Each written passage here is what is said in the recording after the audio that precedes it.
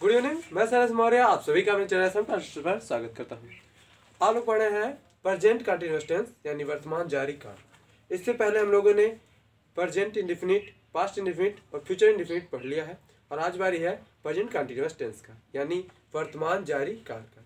अगर इसका पहचान की बात करें तो जब वाक्य के अंत में रहा है, रही है, रहे हैं, ठीक है? एकदम सिंपल सा बात है, वाक्य के अंत में रहा है, रही है, रहे हैं अगर किसी वाक्य के अंत में आ रहा है तो वह प्रजेंट कॉन्टिन्यूस टेंस का वाक्य होगा, ठीक है? यानी वाक्य के अंत में रहा है, रही है, रहे हैं, यानी क्रिया जारी है। जब क्रिया जारी है तो ऐसे वाक्यों को हम लोग प्रजेंट कॉन्टिन्यूस टेंस में रखते हैं, ठीक है? वही बात करते हैं, अगर रहा था, रही थी, रहे थे, ये आए यानी पास्ट टेंस में कोई क्रिया जारी थी तो वो पास्ट कंटिन्यूस का हो जाता है।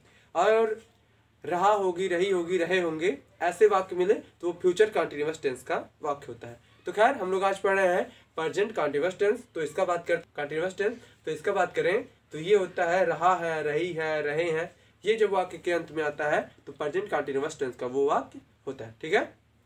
यानी अगर क्रिया जारी है, रहा है, रही है, रहे हैं, ठीक है? ऐसे आए, यानी क्रिया वर्तमान में जारी रहे। तो इसीलिए इसको कहा जाता है वर्तमान जारी काल। यानी वाक्य के अंत में अंत में, वाक्य के अंत में क्या आएगा? रहा है। रहा है, रही है, रहे हैं ऐसे रहे हो ऐसे आ जाए, ठीक है? यानी अगर वाक्य के अंत में रहा है, रही है, रहे हैं, अगर आ रहा है तो वह प्रजेंट कंटिन्यूस टेंस का वाक्य होगा, ठीक है? यानी इस टेंस का वो वाक्य होगा तो ये इसका पहचान था। अगर इस टेंस का हेल्पिंग वर्ब का बात करें, यानी सहायक क्रिया का तो इसका सहायक क्रिया होता है helping verb helping verb helping verb इसका होता है इज़ एम आर ठीक है? इज़ एम आर ये इसका हेल्पिंग वर्ब होता है। अब हेल्पिंग वर्ब का बात करें तो ये कौन सा हेल्पिंग वर्ब किसके साथ लगता है, ये जानना ज़रूरी है। ही सी इट यानी ही सी इट तथा एक वचन करताओं के साथ, ठीक? ही सी तथा एक वचन करताओं के साथ हम लोग इज़ का इस्तेमाल करेंगे आई के साथ एम का इस्तेमाल, सिर्फ़ आई के साथ एम का इस्तेमाल करेंगे। बाकी जितने भी बहुवचन करता करता बचेंगे you we they you we they तथा बहुवचन करताओं के साथ हम लोग क्या करेंगे? आर का इस्तेमाल करेंगे। तो बात समझ में आया? अगर ही सी इट तथा एक वचन है, एक वचन करता है ही सी इट तथा एक वचन करता है तो इच का इस्तेमाल आई के साथ एम का इस्तेमाल बाकी जितने भी यू वी दे बहुवचन करता बचेंगे, उनके साथ आर का इस्तेमाल हम लोग करेंगे। ठीक है? तो ये था इसका पहचान। अब अगर हम लोग इसके सेंटेंस का, इसका भी चार भाग होता है।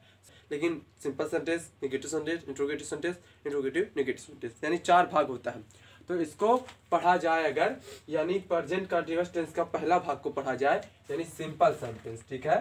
सिंपल सेंटेंस को सिंपल सेंटेंस सिंपल सेंटेंस को कहा जाता है अफर्मेटिव सेंटेंस भी, ठीक है? यानी स्वीकारात्मक सेंटेंस स्वीकारात्मक वाक्य या साधारण वाक्य। यानी सिंपल सेंटेंस पढ़ेंगे हम लोग, साधारण साधारण वाक्य।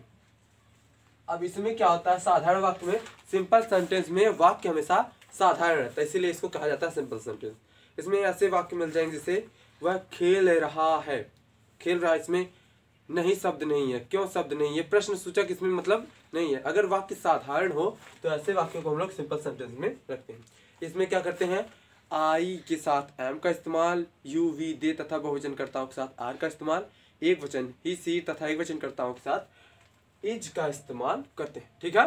ये तो मैंने ऊपर ही बता दिया था। यानी जब वाक्य अगर कोई वाक्य साधारण मिले और वाक्य के अंत में रहा है, रही है, रहे हैं, आए तो ऐसे वाक्यों को हम लोग प्रजेंट कंटिन्यूस टेंस में रखते हैं। और वही वाक्य अगर रहा है, रही है, वाक्य साधारण है, ठीक है? वाक्य साधारण है तो हम लोग प्रजेंट कंटिन्यूस टेंस के सिंपल सेंटेंस में उस वाक्य को रखते हैं। अगर इसका रूल का बात किया जाए, मैंने बताया ही सी तथा एक वचन कर्ताओं के साथ इज़ का इस्तेमाल आई के साथ एम का और यू वी दे तथा बहुवचन कर्ताओं के साथ आर का इस्तेमाल किया जाता है। अब इसका अगर रूल देखा जाए तो रूल इसका हो जाएगा सबसे पहले सब्जेक्ट फिर इज़ एम आर ठीक है? इज़ एम आर सब्जेक्ट के अनुसार इज़ आर फिर वर्ब का फ़र्स्ट फॉर्म इसमें आईएनजी लगाते हैं, ठीक है? क्योंकि जब क्रिया जारी रहता है तो उसमें आईएनजी लगाते हैं। वर्ब में आईएनजी लगाएँगे, तभी पता चलेगा हाँ ये क्रिया जारी है। वर्ब का फ़र्स्ट फॉर्म फिर object other word so on so on बाकी जितने से चीज़ें बतेंगे ठीक है?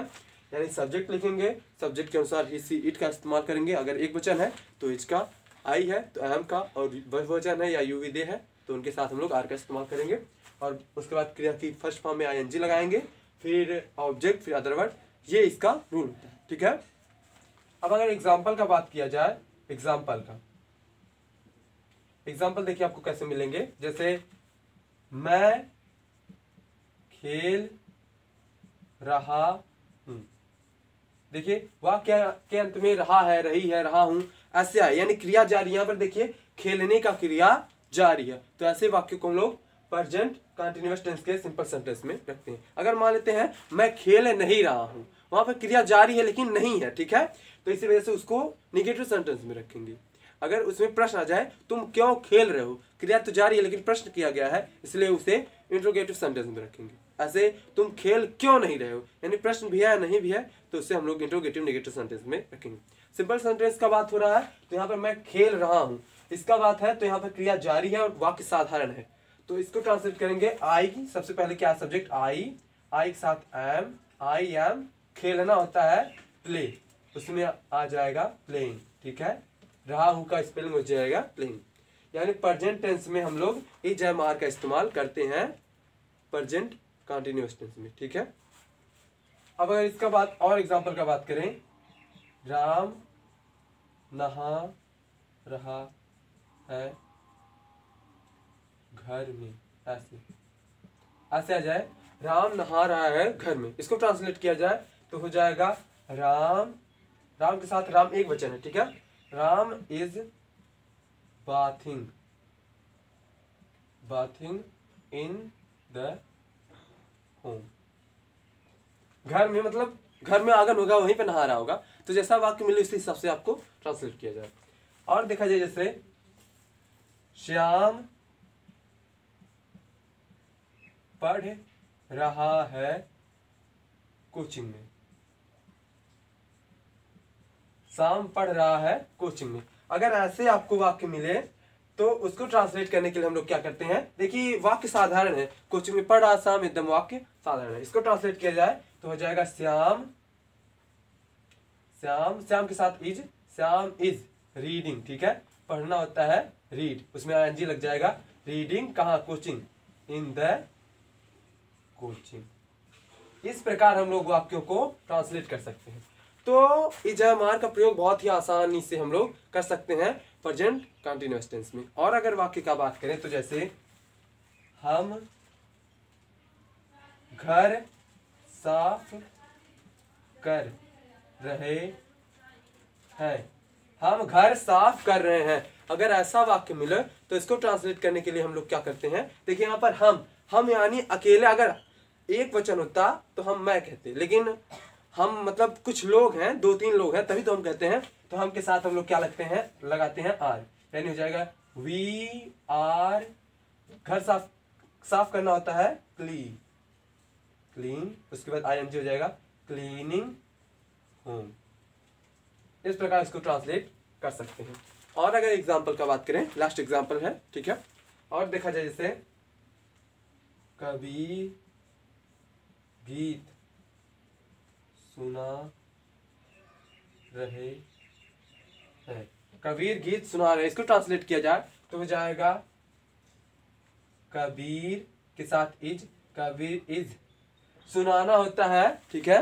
टेल मीन्स भी बताना या सुनाना। या फिर हेयर कर सकते हैं। तो हेयर कर सकते हैं यहाँ पे, यहाँ पर। हेयरिंग हेयरिंग ए सॉन्ग इस प्रकार हम लोग हेलो फ्रेंड्स आप लोग कैसे हैं? मैं कैमरामैन को मैं आप इसी का स्वागत करता हूँ। एस एम ट्रांसलेशन पर। आप लोग क्या जो वीडियो आप लोग देखते हैं, वो कमेंट बॉक्स में कुछ लिखते उखते नहीं है? और चैनल को सब्सक्राइब कीजिए भाई, और लाइक कीजिए और शेयर कीजिए। ऐसे कैम चलते हैं क्या जी? बताइए, वीडियो आप देख लेते हैं और पूरा अंत तक देख ले, देखने के बाद लाइक नहीं करते हैं शेयर नहीं करते हैं। ठीक है?